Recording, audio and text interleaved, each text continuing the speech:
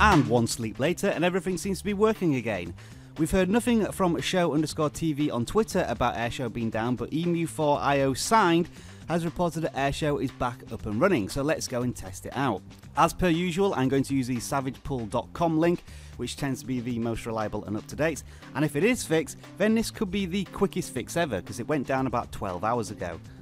So that's downloaded, let's give it a try, and it looks as if the certificate has changed, which is a good sign. Currently untrusted, but we all know how to fix that by now. Go to General, scroll down to Profiles and Device Management, tap on the Enterprise app, and then the blue trust button red pop up.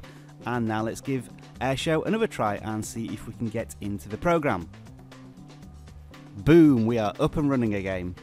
Now, before I end this video, when I uploaded last night to tell you that Airshou was down, I was getting a lot of comments about it still working, which is quite odd.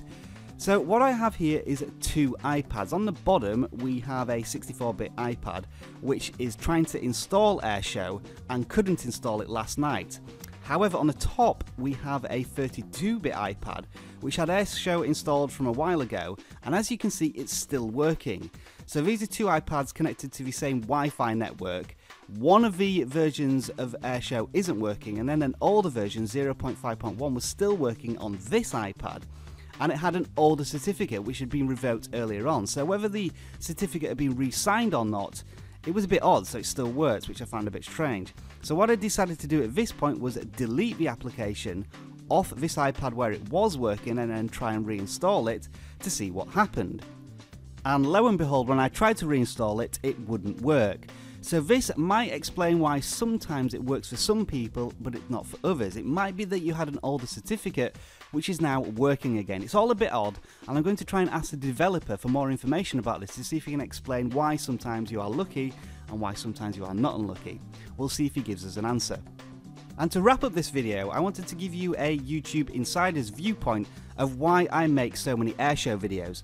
Whenever the application goes down, views peak on my videos. So it only makes sense to me to post more videos about Airshou to give you all the up-to-date information. While I appreciate this may be a frustration to some of you, YouTube has chosen me for whatever reason to be the leading authority on Airshou and promote my videos, which means that when people search for it, I get lots of views. So it only makes sense to make more content about it. Anyway, that's it for now. Thank you very much for watching. Next Airshou update will probably be the iOS 10 release. Otherwise, enjoy the rest of your tech day. Bye for now.